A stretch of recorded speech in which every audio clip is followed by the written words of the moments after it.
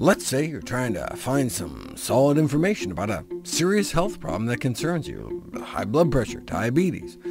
Yet everywhere you look, someone's trying to sell you something, like vitamins, yoga mats, blenders, drugs. Well, breathe a sigh of relief, because all we bring you are the facts. Welcome to the Nutrition Facts Podcast. I'm your host, Dr. Michael Greger. When accompanied by a strength training regimen, 3 grams of creatine a day may improve muscle performance in older adults. Here's our first story. Creatine is a compound formed naturally in the human body that is primarily involved in energy production in our muscles and brain. It's also naturally formed in the bodies of many animals we eat, and so when we eat their muscles, we can also take in some creatine through our diet. It was named after kreas, the Greek word for meat, in which it was first isolated.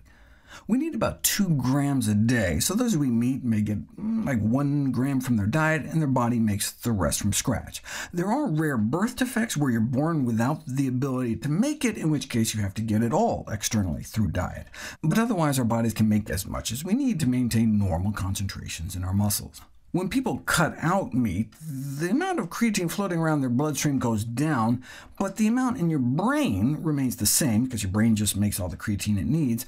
The level in vegetarian muscles is lower, but that doesn't seem to affect performance, as both vegetarians and meat eaters respond to creatine supplementation with similar increases in muscle power output.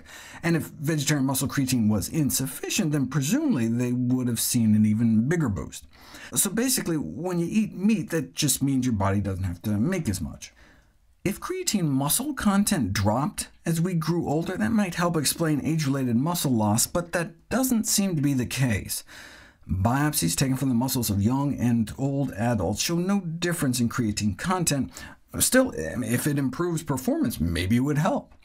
According to the International Society of Sports Nutrition, creatine monohydrate is the single most effective ergogenic supplement available to athletes for increasing exercise capacity and lean body mass during training. It's no wonder surveys show as many as 70% plus college athletes have used creatine supplements. What can it do for older adults. Without exercise, nothing. Uh, most studies on creatine supplementation alone show no benefits for muscle mass, strength, or performance. Uh, this makes sense given the mechanism. Creatine supplementation delays muscle fatigue. This enables people to work out longer and harder, and it's that additional volume and intensity that leads to the muscle benefits. So creatine alone doesn't help, and creatine taken in the context of the same training that's carefully controlled and deliberately equalized doesn't help either. But let people exercise as much as they can, and most studies on creatine supplementation for the prevention and treatment of sarcopenia, meaning age-related muscle loss, show augmented lean mass, as it does in young adults. Adding 3 to 5 grams of creatine a day to 2 to 3 days of resistance training a week added an additional 3 extra pounds of lean mass over an average duration of about 4 months. Now, some of that lean mass may be water weight, not muscle. Uh, creatine causes water retention that can show up as lean mass, but compared to placebo, creatine combined with resistance exercise increases muscle strength as well. And the additional gains in mass and strength can persist as long as 12 weeks after stopping the creatine in older adults, as long as the resistance training is maintained, so obviously it's not all just water weight.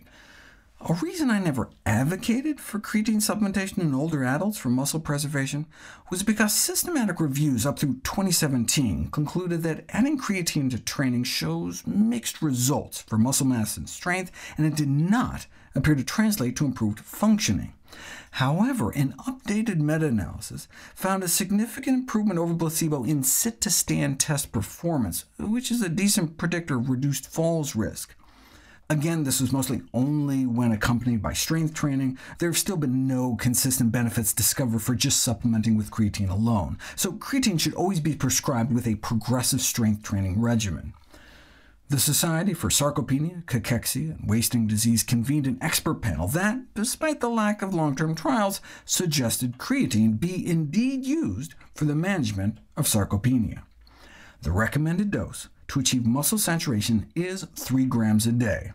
Within a month at that slow, steady rate, you achieve the same muscle levels as loading with 120 grams over a period of a week.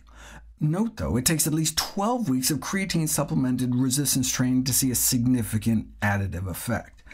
Recent evidence suggests taking it after exercise might be slightly preferable to before, but this has yet to be verified.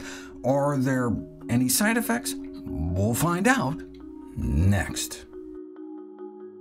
The Society for Sarcopenia, Cachexia, and Wasting Disease convened an expert panel that, despite the lack of long-term trials, suggested creatine be used for the management of age-related muscle loss, also known as sarcopenia. Are there any creatine side effects? Well, if one can extrapolate from mice, one side effect may be longevity. The average healthy lifespan of creatine-fed mice was found to be 9% more than control mice, and they perform better on neurobehavioral tests, especially improved memory skills, uh, but is taking creatine safe? One can take a bit of comfort in the fact that it's one of the world's best-selling dietary supplements, with literally billions of servings taken, and the only consistently reported side effect has been weight gain, uh, presumed to be from water retention. The only serious side effects appear to be among those with pre-existing kidney diseases taking whopping doses of like 20 grams a day for weeks. The bottom line, according to the European Food Safety Authority, is that doses of up to 3 grams a day are unlikely to pose any risk, provided high-purity creatine is used. Uh, dietary supplements are not regulated by the FDA and may not actually contain what's on the label, or, in the case of creatine, be tainted with contaminants generated during the industrial production process. When researchers looked at 33 samples of creatine supplements made in the US and Europe, they all did actually contain creatine, that's good, but half exceeded the maximum level recommended by food safety authorities for at least one contaminant. The researchers recommend that consumers choose products from producers that ensure the highest quality control, but that's easier said than done. One third-party supplement testing outfit that tested for purities chose Bulk Supplements brand as their top pick, uh, which also happened to be the cheapest at about 10 cents per daily 5-gram serving, which is a level teaspoon. What about just getting it from meat? You could get that 3 grams of creatine eating about 5 steaks a day, since cooking destroys about 20%, but the heat reacts with the creatine and amino acids in meat to create carcinogenic heterocyclic amines, one of the reasons meat is considered to be cancer-causing. A separate safety concern was raised that creatine in supplement form could potentially form a different carcinogen known as N-nitrososarcosine when it hit the acid bath of the stomach, but when actually put to the test, this does not appear to be a problem. Some have argued caution for creatine use among those with kidney issues. This concern appears to derive in part from a misinterpretation of laboratory data. The blood levels of a different compound called creatinine is used as a marker of kidney function. It's a muscle metabolism waste product that is regularly cleared out by well-functioning kidneys, so if your levels rise, maybe your kidneys aren't doing so good. But where does creatinine come from? The breakdown of creatine. So if you take extra creatine, your creatinine levels in your blood could rise, giving the false impression that your kidneys are malfunctioning, but instead you're just making more rather than clearing less. For patients who take creatine, doctors can consider other kidney function tests, such as blood levels of uh, cystatin C levels, a waste product that's more independent of dietary intervention. So tell your healthcare professional if you start creatine. Overall, Creatine supplementation appears to be safe for the kidneys, but the longest study to date is less than three years, so true long-term studies are lacking. Finally today, what are the potential consequences of having to make all your own creatine rather than relying on dietary sources? Almost universally, research findings show a poor vitamin B12 status among vegetarians because they're not taking vitamin B12 supplements like they should and this results in an elevation of homocysteine levels that may explain why vegetarians were recently found to have higher rates of stroke. Of course, plant-based eating is just one of many ways to get B12 deficient. I mean, even laughing gas can do it.